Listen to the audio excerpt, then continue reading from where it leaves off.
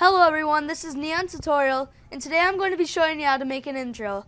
Now, um, it's going to be with Photoshop and Windows Movie Maker since most of you don't have Sony Vegas or Adobe After Effects.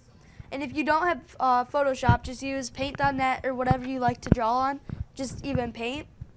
So, pretty much this was done by somebody else, but because they switched from PC to Mac, they ended up not finishing it, um, doing part two of how to do it, um, how to do, how to do this. So pretty much they just ended up by, um, they just ended with making the pictures and not showing you how to put them together, which is pretty simple. But I thought I'd make a in, YouTube video just to show you how to, anyways. So these are all the photos I used. Um, I only have eight photos, as you can see. And then also, I have the music right here. I'll be giving this to you with a download um, for MediaFire in the description below. So um, this is what it looks like when it's finished.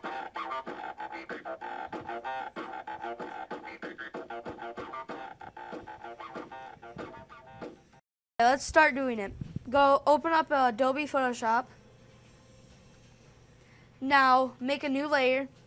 And to get the color effect where it kind of changes colors, it's really simple to do. Go over here where it's normally photo on the bucket. Right click, click on gradient tool. Then come up here. Click on either this one or this one. I like this one better. And just take the um, the gradient and go like this. Ah, crap. Um, actually, here. Go like this across the screen. Um, slide it over. It's really easy to do. Now if you look right here, it'll show you um, what colors are there. See, it's like that, but you can't see them. Now make a new layer, but make sure it's below this. If I can get it. Now, um, all you need to do is, I just kept it on white when I did this and go to brush and um, just grab a random brush.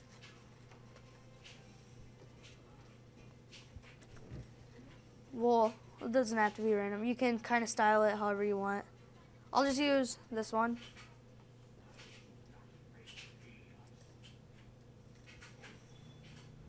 Uh, it's not a very good example. But, I mean, if you use brushes that are filled in like this, let me show you what I mean. Um, or that are better like this. As you can see, it gives it a cool effect.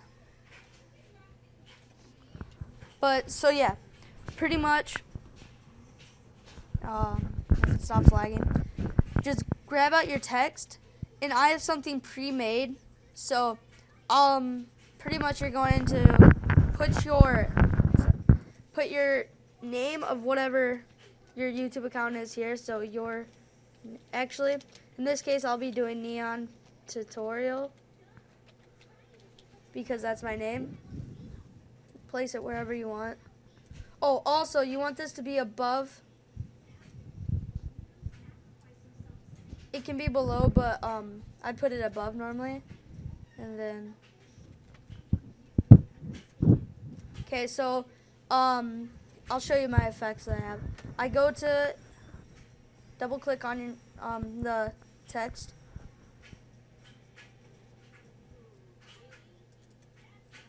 Any day now.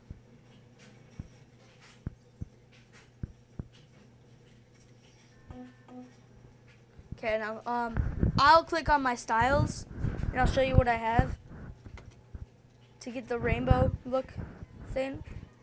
And pretty much. I just went to outer glow. And I made that black. And then I went to gradient overlay. I used the same exact um, overlay I used for the um, for the background thing the rainbow one. And then I went to stroke.